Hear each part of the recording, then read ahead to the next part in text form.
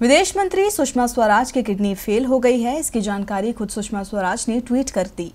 अपने ट्वीट में उन्होंने लिखा कि, मित्रों, आपको अपनी सेहत के बारे में एक जानकारी देनी है। मैं किडनी फेल हो जाने के कारण एम्स में हूँ। इस समय मैं डायलिसिस पर हूँ। मैं गुर्दा प्रतिरोपण के लिए परीक्षण करवा रही हूँ।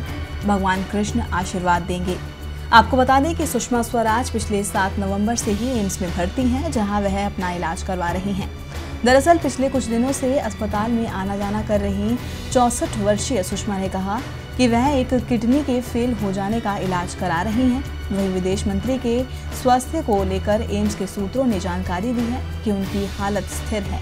किडनी फेल होने के पीछे शुगर की पुरानी बीमारी है, जिसके कारण उनकी किडनी में दिक्कतें आ रही हैं। उनका डायलिसिस किया जा रहा है। आपको बता दें कि उन पर डॉक्टरों की एक टीम लगातार नज़र बनाए हुए हैं। तो विदेश मंत्री अस्वस्थ होने की वजह से एम्स में दाखिल हैं और सभी उम्मीद कर रहे हैं कि वो जल्द स्वस्थ हो जाएँ। देखते रहिए डीपी लाइव